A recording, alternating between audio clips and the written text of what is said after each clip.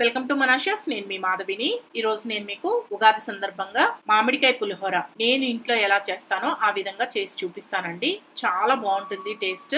ఉగాదికి కంపల్సరీ అందరూ చేస్తుంటారు కదా మామిడికాయ పులిహోర. ఒక్కసారి నేను చేసినట్లు కూడా ట్రై చేసి చూడండి. చాలా బాగుంటుంది టేస్ట్. మరి ఇప్పుడు తయారీ విధానాన్ని చూపిస్తాను. మీకు నచ్చింది అనుకుంటే తప్పకుండా లైక్ చేయండి కామెంట్ చేయండి. ఫస్ట్ రైస్ని ఉడికించుకున్న తర్వాత ఇలా కాస్త వెడల్పుగా ఉన్న ఏదైనా బేసన్లో వేసుకొని ఇలా పొడి పొడిగా వచ్చేటట్లు చేసుకొని పక్కన పెట్టుకోండి. నేను ఇక్కడ ఒక ముగ్గురు మనుషులకు సరిపడా ఈ పులిహోరని చూపిస్తున్నానండి. ఇప్పుడు ఇలా ఒక మామిడికాయని తీసుకోండి. బాగా పచ్చిగా ఉండి కాస్త పుల్లగా ఉన్న మామిడికాయని తీసుకోండి. ఈ మామిడికాయని శుభ్రంగా కడిగిన తర్వాత తడి లేకుండా తుడుచుకొని ఇలా పీలర్ తోటి తొక్కు మొత్తం తీసేసుకోండి. ఇప్పుడు చూడండి ఇలా తొక్కు మొత్తం తీసేసిన తర్వాత ఈ మామిడికాయని ఈ విధంగా తురుముకోండి. లోపల విత్తనం ఉంటుంది కదా ఆ విత్తనం తీసేసేయాలి. మీరు మామూలుగా మిక్సీకి వేసుకొని అయినా చేసుకోవచ్చండి. కానీ మిక్సీకి వేసి చేసుకుంటే ఆ టేస్ట్ వేరే ఉంటుంది. ఇలా తురుముకొని చేసుకుంటేనే టేస్ట్ బాగుంటుంది. చూడండి కాయ మొత్తాన్ని ఇలా తురుముకోవాలి. లోపల ఈ ముట్టి ఉంటుంది కదా ఈ ముట్టిని తీసి పక్కన పెట్టేసుకోండి. ఇలా తురుముకున్న ఈ మామిడికాయ తురుముని ఏదైనా గిన్నెలోకి తీసుకొని పక్కన పెట్టుకోండి. ఇప్పుడు ప్యాన్ వేడి చేసుకొని దీంట్లో ఒక మూడు టేబుల్ స్పూన్ల దాకా ఆయిల్ వేసుకోండి. ఇప్పుడు దీంట్లో ఫస్ట్గా ఒక మూడు టేబుల్ స్పూన్ల దాకా వేరుశనగపప్పు అంటే పల్లీలు వేసుకొని వేయించుకోండి. పల్లీలు ఫస్టే బాగా వేయించేసుకోవద్దండి. కొద్దిగా లైట్గా వేగితే సరిపోతుంది. మిగతా పోపు దినుసులు వేగేటప్పటికి ఈ పల్లీలు కూడా వేగిపోతాయి.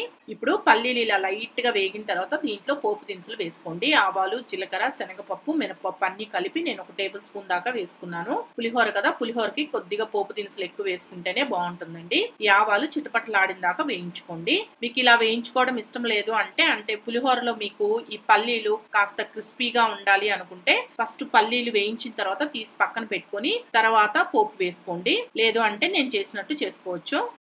ఇప్పుడు ఈ ఆవాలు చిటపట్లాడిన దాకా వేగిన తర్వాత దీంట్లో ఒక నాలుగు ఎండుమిరపకాయలు మూడు లేదా నాలుగు పచ్చిమిర్చి ఇలా పొడవుగా కట్ చేసి వేసుకోండి. దీంట్లోనే ఒక చిటికడి ఇంగువ వేసుకోండి. పులిహోర కదా ఇంగు ఉంటేనే టేస్ట్ బాగుంటుంది. ఒక రెండు రెమ్మల కరివేపాకు కూడా వేసుకొని ఇవి మొత్తం బాగా వేగేంత వరకు వేయించుకోండి. ఈ పోపు దినుసులన్నీ మాడకుండా ఉండాలంటే ఫ్లేమ్ని సిమ్లో పెట్టుకొని వేయించుకోండి. ఇప్పుడు కరివేపాకు పచ్చిమిర్చి అన్ని వేగిన తర్వాత దీంట్లో హాఫ్ టీ స్పూన్ పసుపు వేసుకొని కలుపుకోండి. ఈ పసుపును మీరు డైరెక్ట్గా రైస్లో వేసుకుని అయినా కలుపుకోవచ్చండి. నేను ఇలా ఆయిల్లో వేసి చూపిస్తున్నాను. దీంట్లోనే మామిడికాయ తురుము వేసుకోండి.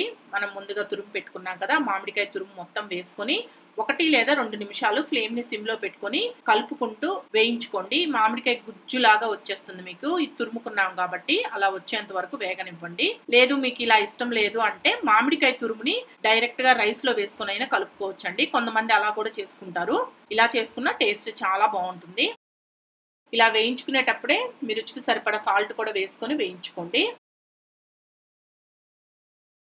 ఇప్పుడు చూడండి ఒక రెండు నిమిషాలు వేయించుకున్న తర్వాత మామిడికాయ తురుము మీకు ఈ విధంగా గుజ్జులాగా అవుతుంది. ఇప్పుడు దీంట్లో ఒక పావు టీ స్పూన్ వేయించి పొడి చేసి పెట్టుకున్న మెంతుల పొడి వేసుకోండి. ఈ మెంతు పొడి వేసుకోవడం వల్ల ఆ టేస్ట్ ఇంకా చాలా బాగుంటుంది. నేనైతే కంపల్సరీ మెంతు పొడి వేస్తాను. మీకు ఇష్టం లేకపోతే వేసుకోకపోయినా పర్వాలేదు. కానీ వేయించి పొడి చేసి పెట్టుకున్న మెంతుల పొడే వేసుకోండి. ఇలా మెంతు పొడి కూడా వేసుకున్న తర్వాత మొత్తం బాగా కలిసేటట్టు కలుపుకొని స్టవ్ ఆఫ్ చేసుకోండి. ఇప్పుడు ఇలా రెడీ అయిన ఈ పోపుని రైస్లో వేసుకొని కలుపుకోవాలి. మొత్తం ఒకటేసారి వేసుకోమాకండి. ఒకటేసారి వేసేస్తే మళ్ళీ పులుపు ఎక్కువైపోతుంది. ఫస్ట్ కొద్దిగా వేసుకొని కలుపుకోండి.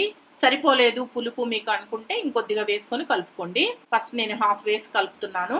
ఒకవేళ మీకు ఉప్పు సరిపోలేదు అంటే ఒకసారి చెక్ చేసుకొని ఉప్పు అయినా వేసుకొని కలుపుకోవచ్చు. నేను ఫస్ట్ వేసుకున్న పోపు సరిపోలేదండి. మళ్ళీ పోపు వేసుకొని సన్నగా తరిగిన కొత్తిమీరను కూడా వేసుకున్నాను. ఆ బిట్టు కట్ అయిపోయిందండి. మీకు చూపించలేకపోతున్నాను. ఇది చూడండి. సన్నగా కట్ చేసుకున్న కొత్తిమీరను కూడా వేసుకొని మొత్తం బాగా కలిపేసుకుంటున్నాను. కొత్తిమీర వేసుకుంటే టేస్ట్ చాలా బాగుంటుందండి. లాస్ట్లో ఇలా కట్ చేసుకొని వేసుకోండి కొత్తిమీర. ఇప్పుడు మొత్తం బాగా కలిసిపోయేటట్టు కలుపుకున్న తర్వాత సర్వ్ చేసుకోండి. అంతే. పుల్ల పుల్లగా కమ్మగా భలే ఉంటుందండి టేస్ట్. తప్పకుండా ట్రై చేయండి ఉగాదికి మీరు కూడా.